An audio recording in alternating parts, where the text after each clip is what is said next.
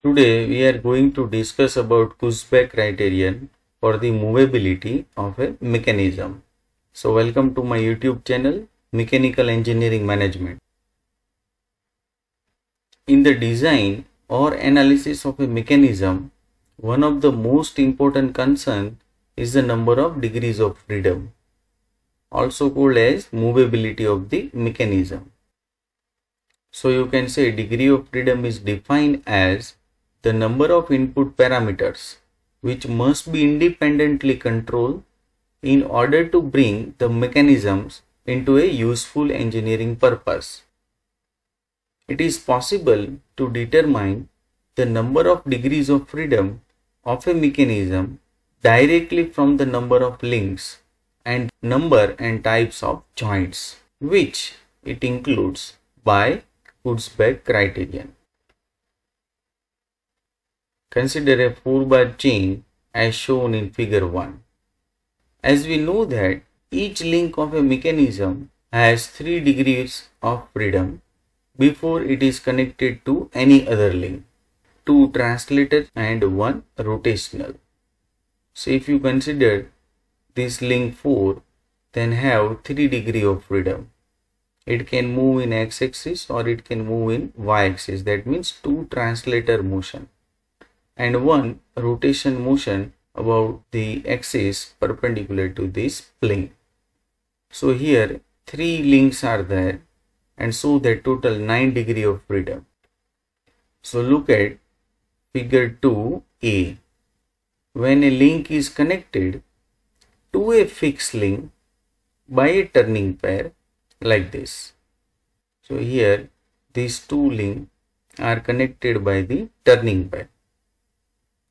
Two degrees of freedom are destroyed. So here you can see initially having 9 degree of freedom. Now 2 degree of freedoms are destroyed. So final degrees of freedom is 7. So it may be clearly understood that the resulting 4 bar mechanism has 1 degree of freedom as shown in figure 2e. So each time 2 degrees of freedoms are destroyed. In general, a mechanism with L number of links connected by J number of binary joints or you can say number of lower pairs having single degree of freedom pairs and H number of higher pairs that means 2 degree of freedom pairs. Then the number of degrees of freedom of a mechanism is given by n is equal to 3 times L minus 1 minus 2j minus h where n is the number of degrees of freedom, L is the number of links, j is the number of binary joints and h is the number of higher pairs. And this equation is called Kutzbach criterion for the movability or you can say mobility of a mechanism having plane motion. That means you can say planar mechanism. If there are no 2 degree of freedom pairs, that means higher pairs, then h is equal to 0 because of you know that h is the number of higher pairs. So if you substitute h is equal to 0 in this equation, then we have n is equal to 3 times L minus 1 minus 2j. And this equation is the Kutzbach criterion for the planar mechanism having no higher pairs. Now, application in Kutzbach criterion to plane mechanisms means how to apply Kurzbach criterion to find number of degrees of freedom for mechanisms having no higher pair.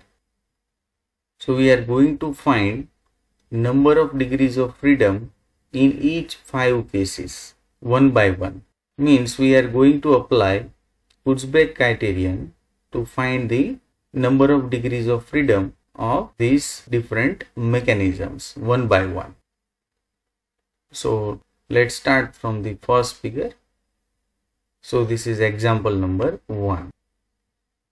Consider the arrangement of three links AB, BC and CA as shown in figure.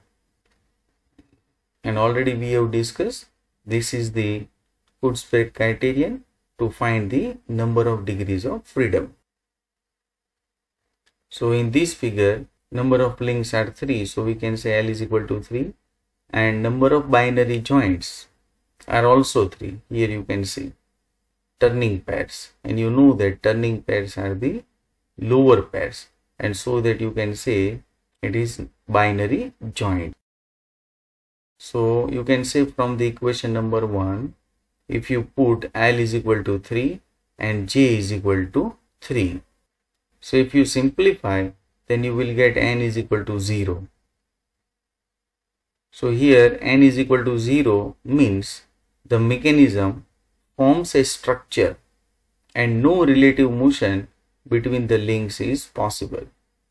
So if degrees of freedom is equal to 0, that means you can say the mechanism forms a structure and having no any relative motion between links. Next example 2. So consider the arrangement of four links AB, BC, CD and DA as shown in figure. Already we have discussed this is the Kutzbach criterion. Let's say it is equation number 1. So here you can say number of links are 4, number of binary joints are also 4 at A, B, C and D.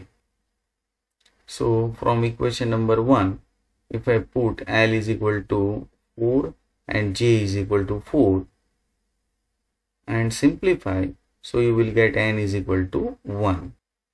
So number of degrees of freedom is equal to 1 in this mechanism. So here n is equal to 1 means the mechanism can be driven by a single input motion or you can say single input parameter. So here you can say AD having single input parameter that is a rotational motion theta and so that you can define the position of the remaining links. So only one input parameter is required and so that you can say degree of freedom is equal to 1. Next, example 3. Consider the arrangement of four links AB, BC, CD, DE and EA as shown in figure. And already we know that this is the Kutzbach criterion. Let's say it is equation number 1.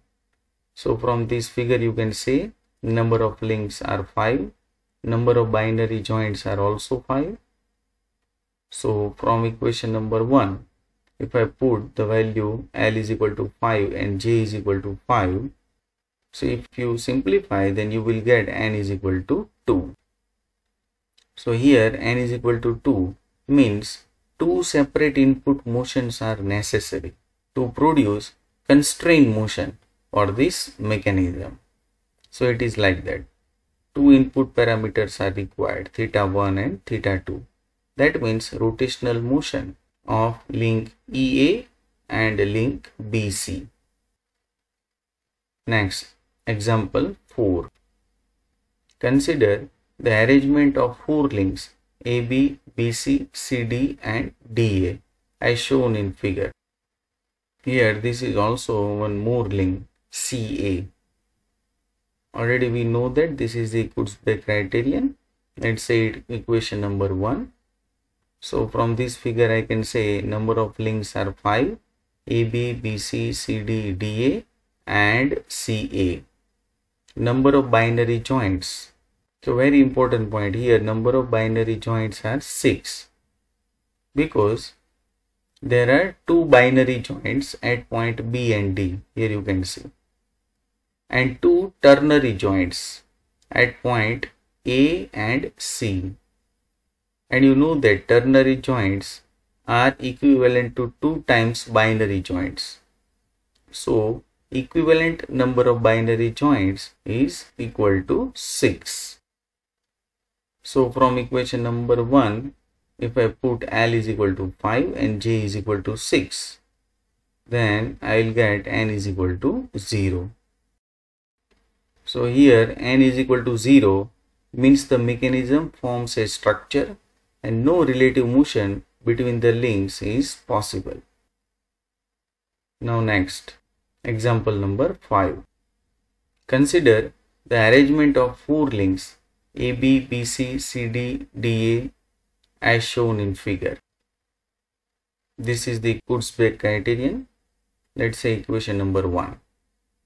Now from this figure you can say number of links are 6. Number of binary joints j is equal to 8. This is very important and interesting. There are 4 ternary joints at A, B, C and D. And as we have discussed that ternary joints are actually equivalent to 2 times binary joints and so that there are 8 equivalent binary joints. So you can say j is equal to 8. From equation number 1, if I put the value L is equal to 6 and j is equal to 8, so that I will get n is equal to minus 1. So here n is equal to minus 1 means there are redundant constraints in the chain and it forms a statically indeterminate structure. If you want to see more engineering videos, then subscribe my YouTube channel and go to playlist. Thanks my dear friends. Press the like button to appreciate this video.